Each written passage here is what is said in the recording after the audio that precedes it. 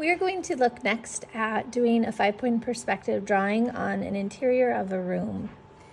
This one can get complicated super duper quickly, therefore I'm going to try to use a pencil so I can erase some lines so it hopefully makes a little bit more sense. Anytime I would do this on my own, I would generally use a pencil, but I've used a Sharpie in the past so that my lines are a little bit more bold.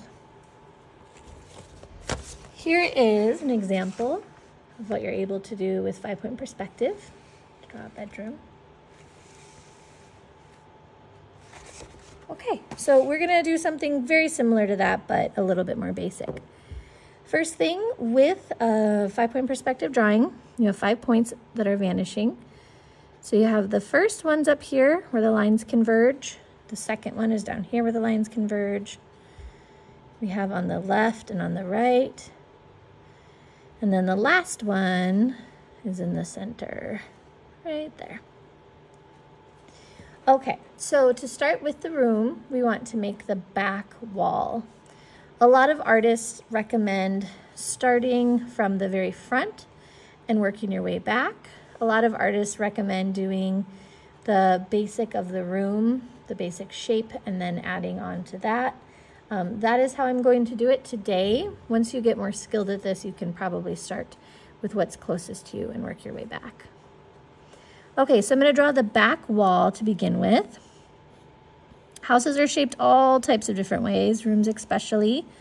So there's really no correct or incorrect way to do this, just different. Okay, so we're gonna do some nice high ceilings on this one.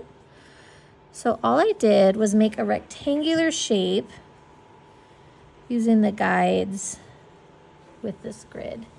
You do not have to do something that has the exact same lines. You can make a line right here and just follow the basic lines on the sides. Um, it does not have to be tracing over a previously drawn line. Okay, so then to make the room, we're gonna go from the vanishing point to each of the four corners, and then we're gonna go out using our ruler. So I'm gonna go at my vanishing point, go to the corner and go out. I'm to continue doing that.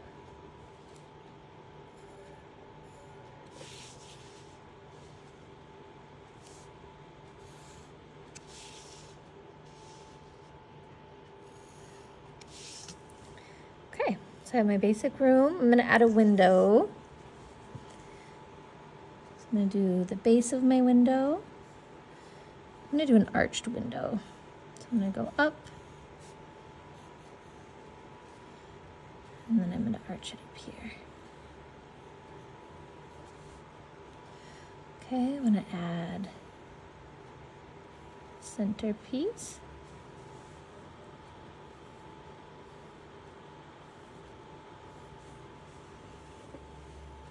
Okay, you could continue the perspective if you would like to and draw something out here using that same vanishing point. If you find a way to do it, it could be pretty cool.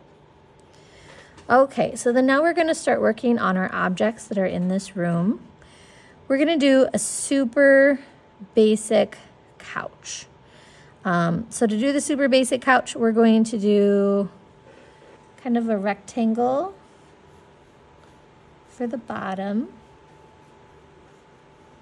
We're gonna follow the guidelines. And then we're gonna do this little rectangle from the top and we're gonna angle it over. Okay, so right now, if you saw this, it would look like this was painted on the wall. Now we're going to add the shape to it. So I'm gonna go from the vanishing point to all my main corners on here, and then I'm going to go out.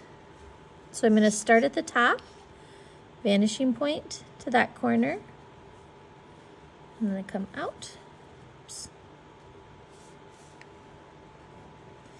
The pencil sharp is sharpened funny, so it's looking a little weird. Here to here. Ironically, those are ending up on almost the same spots, which is telling me that you wouldn't actually be able to see the top there. Go from here to this point to now. from here to that point, and then out. Then from here to this point, and out. Okay, so I'm going to erase a little bit so it hopefully makes a little more sense.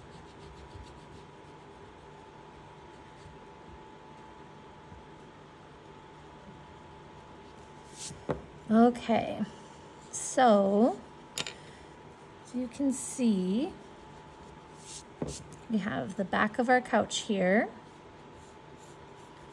We have the seat of the couch right here. And then we have where our legs go right here. Um, right now it looks like the couch goes on forever, which we don't really necessarily need. Um, so we need to end the couch, but we can't end it with parallel lines like we do with most other perspective. We need to follow the curvature of the lines that are already there. So we're gonna end it right here. So we're gonna follow this curve right here and that matches this one. Again, the curves are different, but these two lines correlate together. Okay, then we're gonna go across right here. And because of the way this is drawn, it kind of dips down. And then we're gonna come down here. Okay.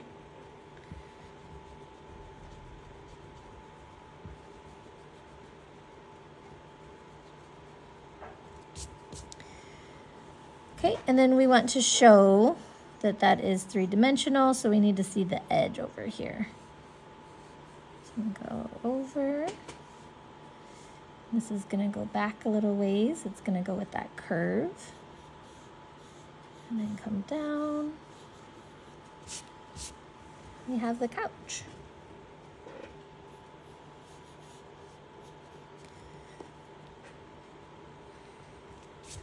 You could add some decorations if you wanted pillows, blankets.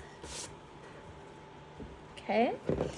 Next thing we're gonna do is put a TV on the wall. So I'm gonna do, we're gonna make a big TV, not too big. So make a line right here where I want my TV to start. And then the top of it is gonna go away from the vanishing point So be like that.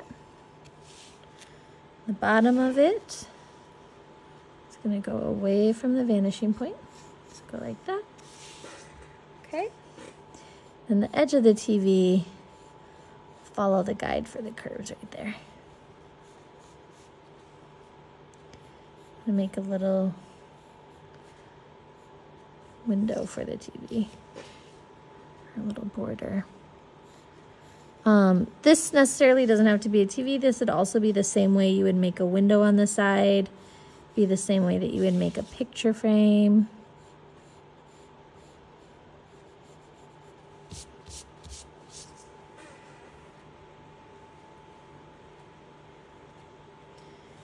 Okay, we can maybe do a light up here. Uh, last thing we're going to do is we'll add a little rug. So I'm to have the rug coming out from under the couch. I want the lines to match, to have the same curvature as the lines that are already there. This side goes to the vanishing point. Since I already have this line, I don't have to worry about it. This side goes to the vanishing point. And then it's going to end there. If you want to do fringes coming off the rug, they would each go to the vanishing point. Could do both sides at once, go a little quicker.